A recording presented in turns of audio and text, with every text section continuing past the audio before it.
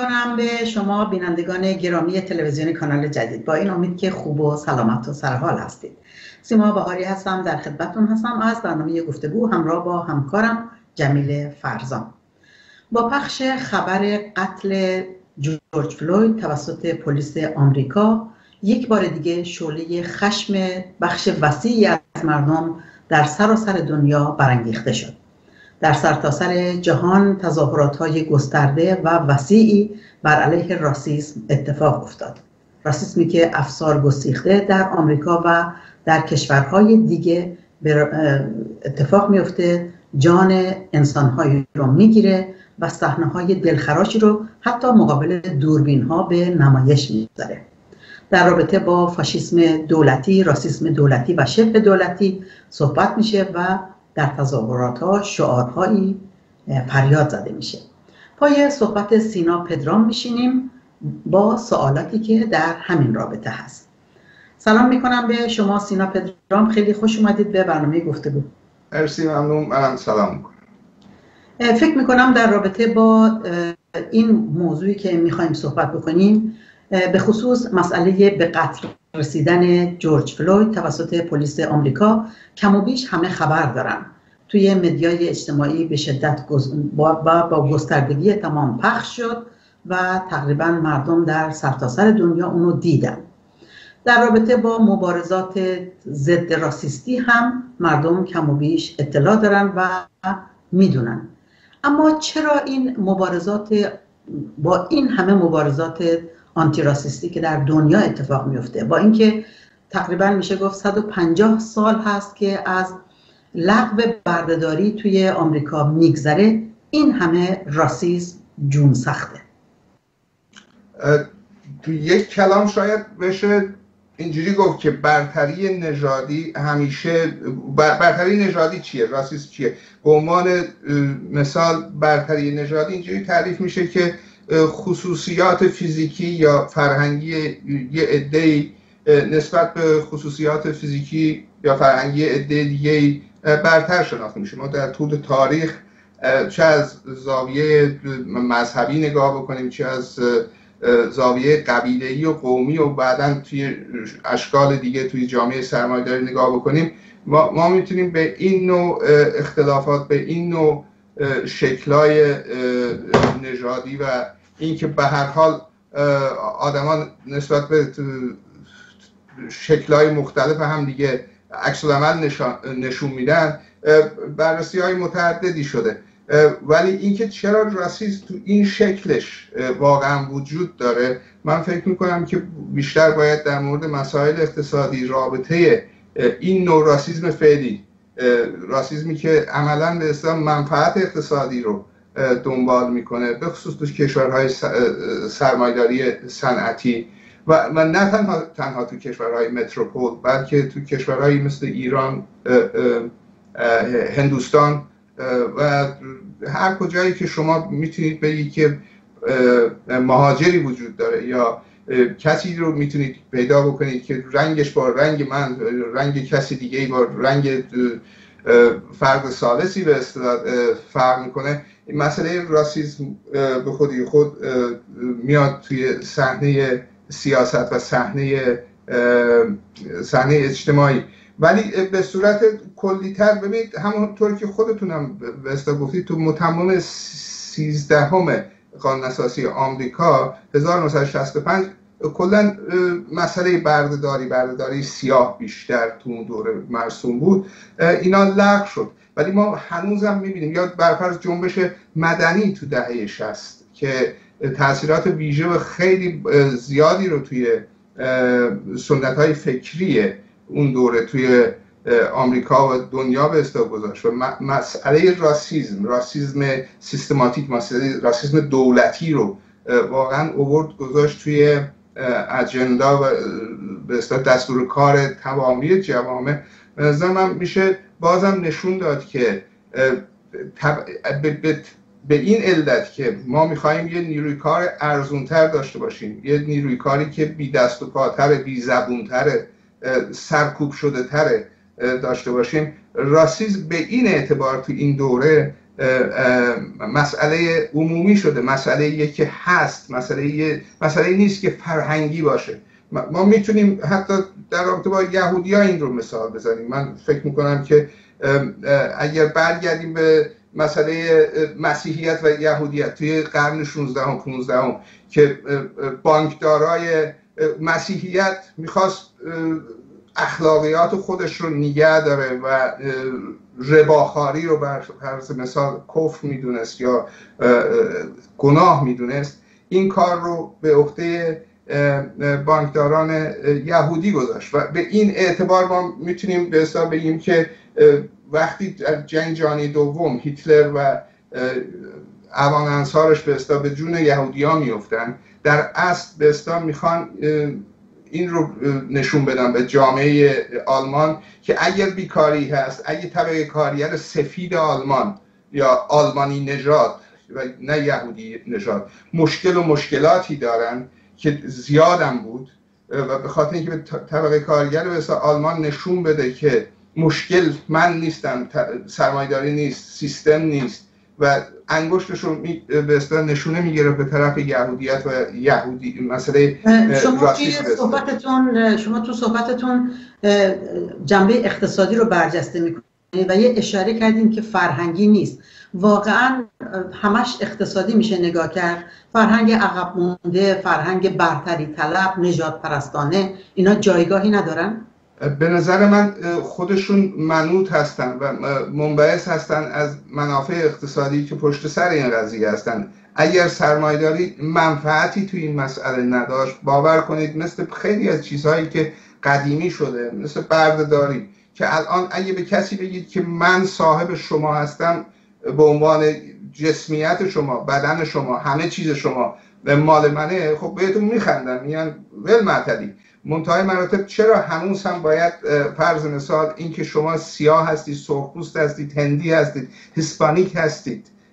ببینید مسئله واقعی برفرض تو آمریکا تنها مسئله سیاه نیست.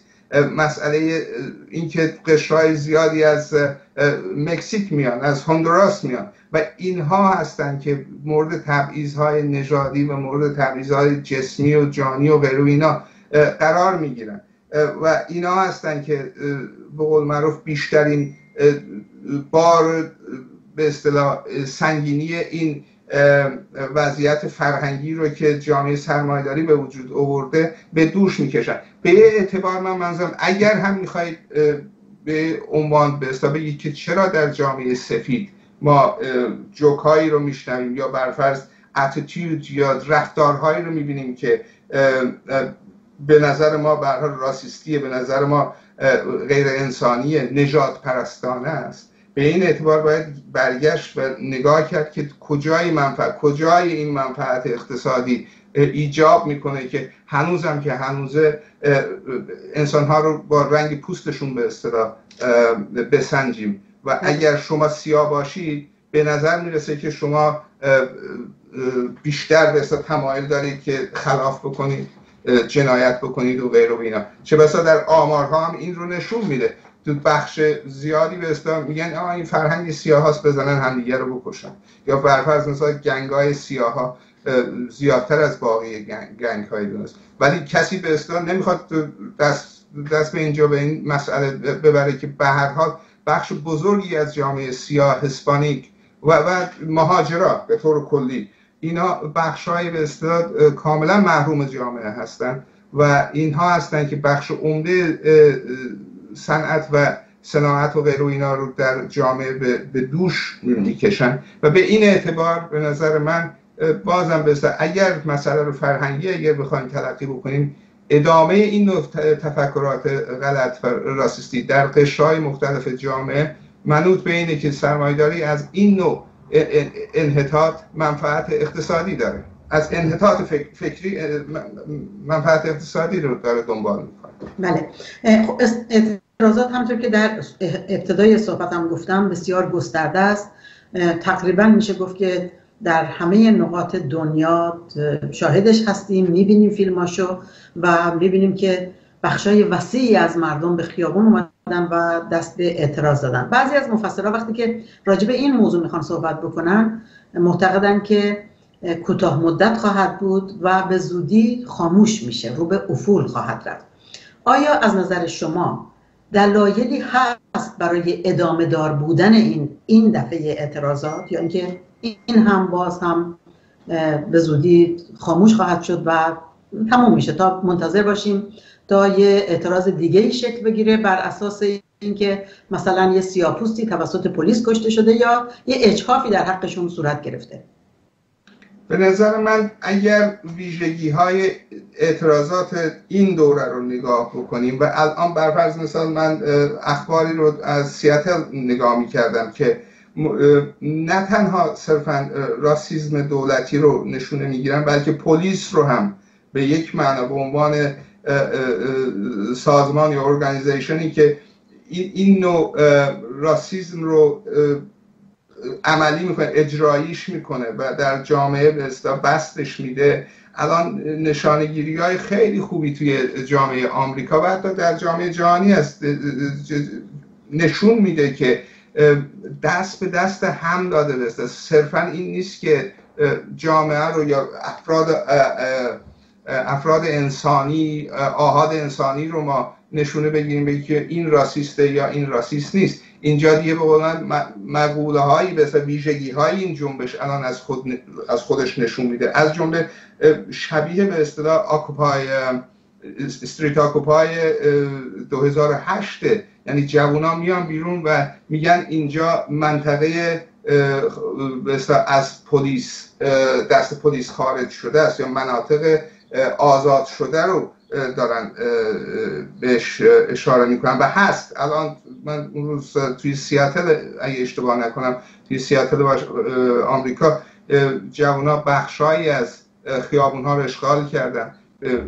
به یک معنی به پسترهایی زدن که اینجا از پلیس خالی از نیروهای نظامی خالیه.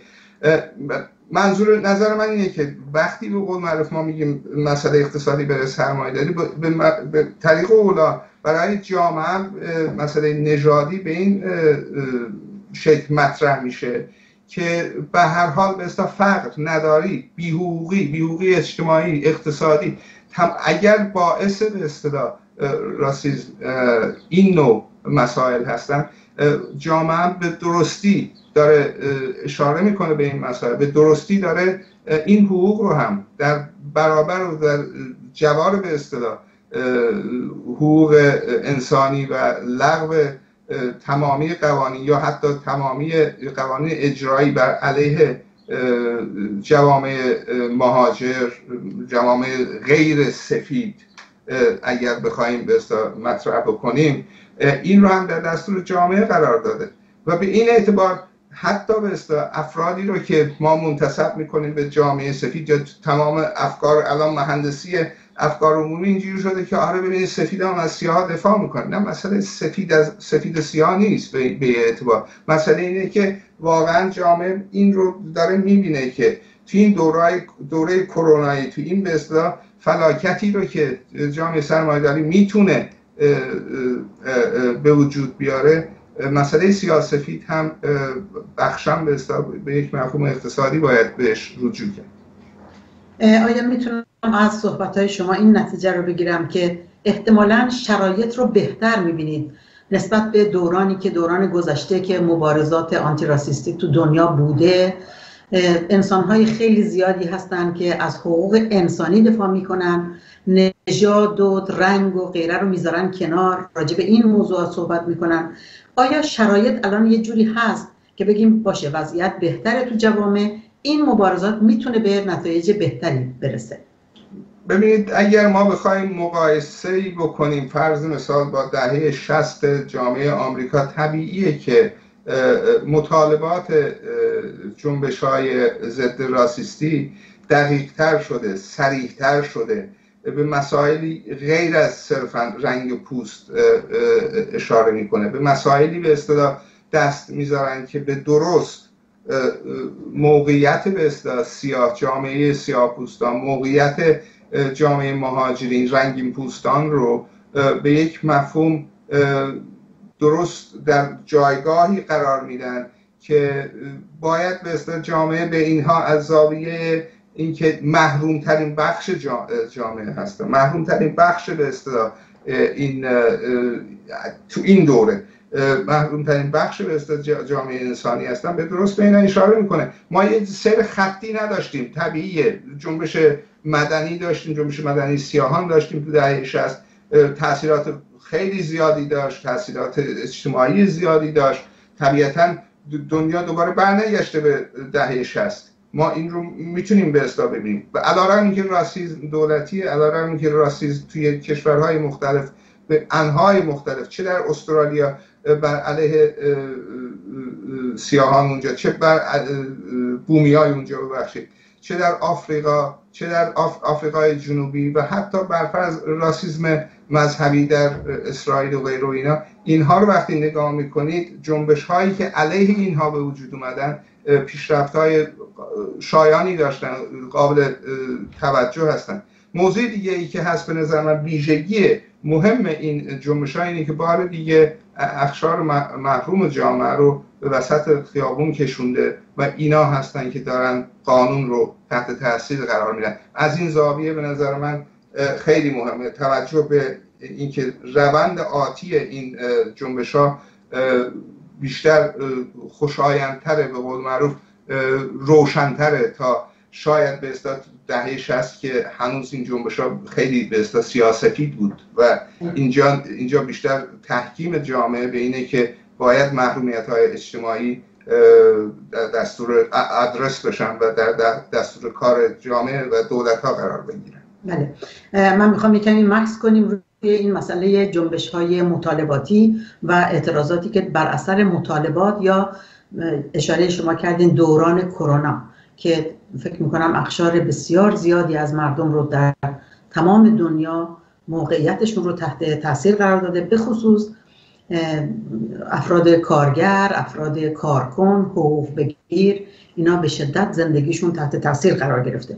خب تو این دوران جنبش های مطالباتی و آیندهشون رو چجوری می‌بینید؟ یه اشاره های کوتاهی کردین. فکر می‌کنم جا داره که مقدار بیشتر راجبش صحبت بکنیم. به یه اعتبار به نظر من به یه اعتبار به نظر من ببخشید به یه اعتبار به نظر من موضوع جنبش های مطالباتی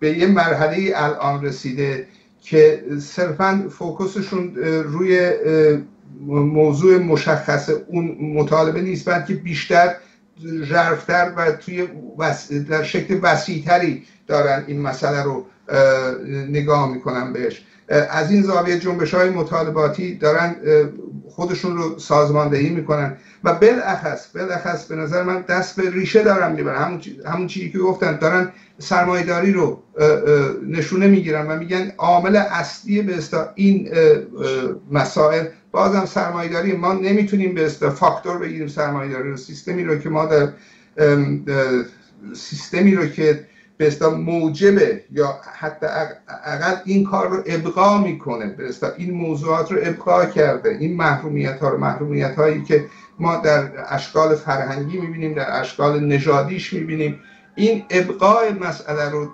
دارن به به یه سیستم متصل می‌کنن و به شکل منفصلانه عمل نمی‌کنن. از این زاویه روندی رو که من شخصا می‌بینم در حداقل در دو سال گذشته سه سال گذشته جنبش های مطالباتی دارن پیشرفت های اساسی رو می‌کنن. بلخص در ایران که ما می‌تونیم این مسئله رو کاملا با ویژگی های خاصی که جمهوری اسلامی داره بیشتر و دقیق تر به بررسی کنیم جنبش مطالباتی محیط زیست زنان مسئله فرهنگی جوانان اینها دیگه به قول به تنهایی و تک تک سراغ یک مقوله مجرد نیستن بلکه دارن به ریشه های اجتماعی و دلیل اصلی این نوع محرومیت ها رو نشونه گرفتن و روی اینها دارن عمل می‌کنن. بله. مثلا اگر به یکی دو دهه اخیر نگاه کنیم جنبش های خیلی زیادی توی دنیا شکل گرفته فعالیت کرده تحولاتی رو ایجاد کرده و رو به خاموشی رفته دوباره سر در آورده. وقتی که اینا رو مورد بررسی قرار میدیم به خصوص توی محافل سیاسی وقتی اینا مورد بررسی قرار می‌گیرن به عنوان یک ضعف به عنوان یک کمبود نداشتن یک حزب یک حزب یا یک سازمان کمونیستی و کارگری نداشتن یک حزب انقلابی یا اینکه ارگانی که بتونه صدای این اعتراضات رو منعکس بکنه در قسمت بالای جامعه بتونه منعکس بکنه مورد صحبت قرار می‌گیره.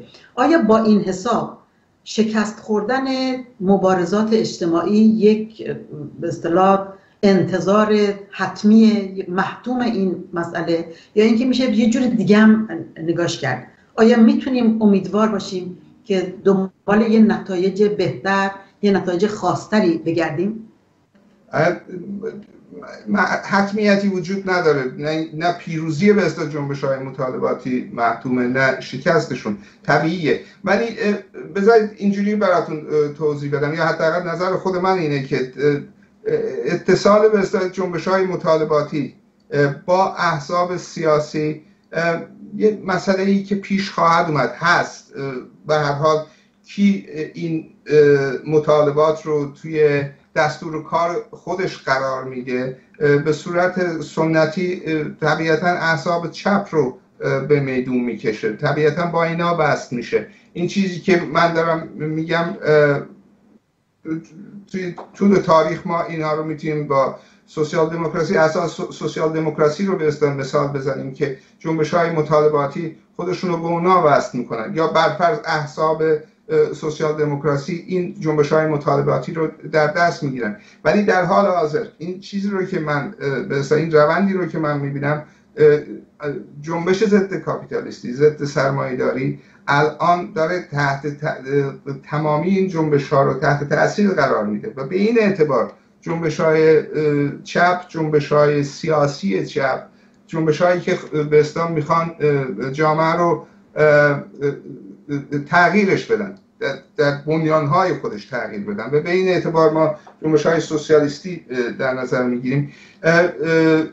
و به یه اعتبار به اسم به حزب سوسیالیستی حزب کمونیستی حزب به سیاسی که این جنبش ها رو می‌تونه نمایندگی بکنه.